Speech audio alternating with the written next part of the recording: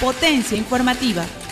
El día de hoy también entregamos 65 eh, permisos para el cultivo de cachama, tilapia y coporo, para beneficiar a un grupo importante de, agricultores de isopesca en este municipio.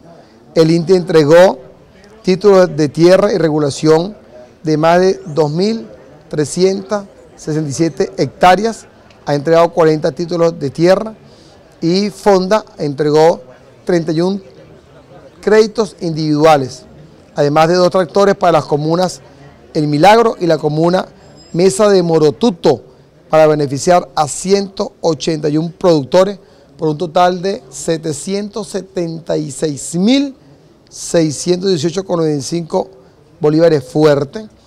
Estamos, la gente, la gente entregando el cheque ¿no? en la mano, entregando el tractor, no es mentira, lo entregamos en el comandante de la compañía de Coloncito, así que estamos trabajando muy duro.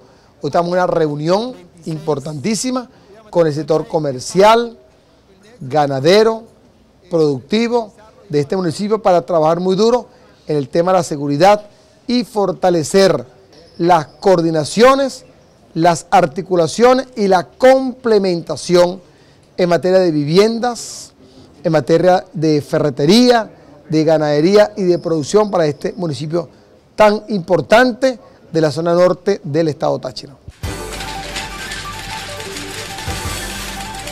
Táchira, potencia informativa.